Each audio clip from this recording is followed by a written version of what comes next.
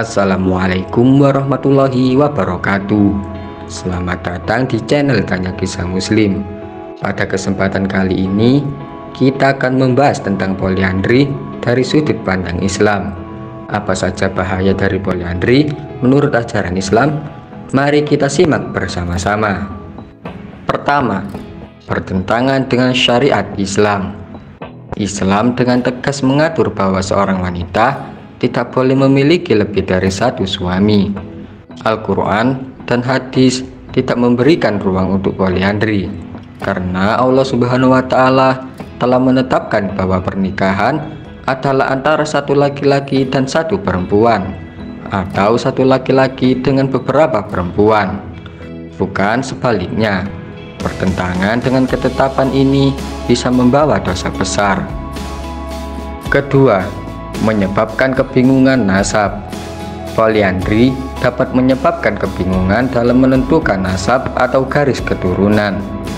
Islam sangat mementingkan kejelasan nasab untuk menjaga hak-hak waris, perwakilan, dan hubungan keluarga.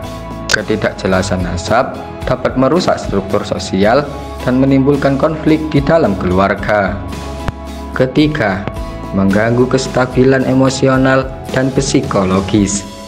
Memiliki lebih dari satu suami dapat menimbulkan tekanan emosional dan psikologis yang berat bagi wanita. Hal ini juga dapat menyebabkan kecemburuan dan perselisihan di antara para suami, yang pada akhirnya merusak keharmonisan rumah tangga. Keempat, masalah fikih. Dalam Islam, seorang suami bertanggung jawab untuk memberikan nafkah kepada istri dan anak-anaknya. Jika seorang wanita memiliki lebih dari satu suami, akan sulit menentukan siapa yang bertanggung jawab atas nafkah dan bagaimana pembagian kewajiban ini dilakukan secara adil. Kelima, mengancam keharmonisan sosial dan komunitas muslim.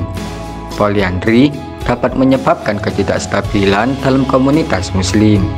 Ketidakpastian mengenai nasab, nafkah, dan tanggung jawab dapat memicu konflik yang lebih luas di masyarakat. Hal ini bertentangan dengan prinsip-prinsip Islam yang mengajarkan keteraturan dan keadilan dalam kehidupan bermasyarakat. Itulah lima bahaya poliandri menurut pandangan Islam. Islam mengajarkan kita untuk menjaga keharmonisan dan keadilan dalam keluarga dan masyarakat. Oleh karena itu, penting untuk memahami dan mengikuti syariat yang telah ditetapkan. Jangan lupa untuk like, share, dan subscribe untuk konten-konten islami lainnya. Wassalamualaikum warahmatullahi wabarakatuh.